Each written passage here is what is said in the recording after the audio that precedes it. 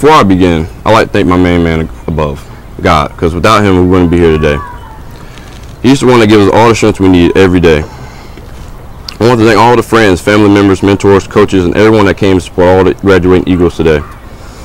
Another special shout out to Jamal Hoop Crawford, because without he's been a big brother to a lot of us that are graduating today, because he's the only one that wouldn't sugarcoat nothing, even when we need to hear it the most.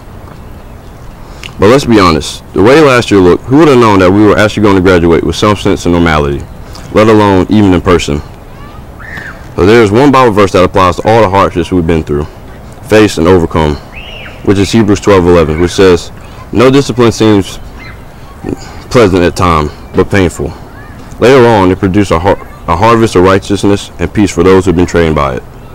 This verse alone shows that every single one of us has pushed past the challenge to the fruits and show why we're here today. Well, the time has come. Another close, another chapter, and a fresh new start.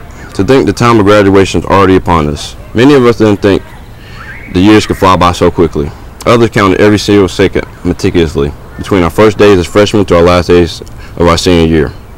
So many of us long to be able to put on our cap and gown, to walk across the stage and grab our diplomas with the grandest smiles on our faces, with a sense of relief, feeling that our four years of hard work has finally been summed up into one of the many milestones that no one can take from us.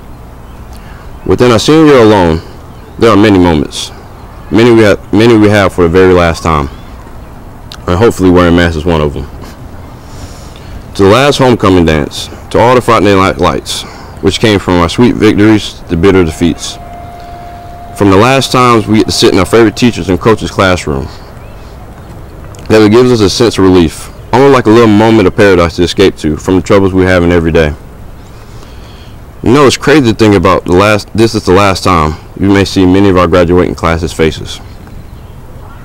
High school is filled with so many last moments, yet every single one of them is worth it because it prov- provides memories that you'll never forget.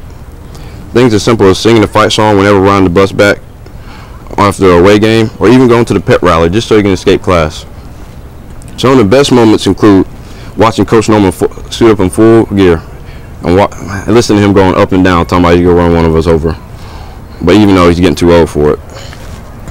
Or even watching Coach Matt yell at Bryson, talking about he looks like a beach whale as we're rest- doing wrestling conditioning.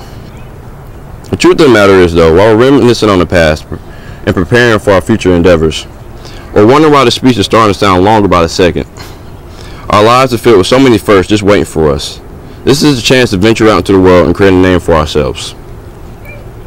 And the only person stopping it from happening is you. So let me give you a quote as we leave today by Langston Hughes, which says, Hold on to your dreams, for if dreams die, life is like a broken winged bird that does not fly. Don't let your dreams and aspirations be discouraged by all the doubts and fears you have in life, but instead let them be your guide, the drive that will push you further in life, wherever it may take you. Congratulations, we did it.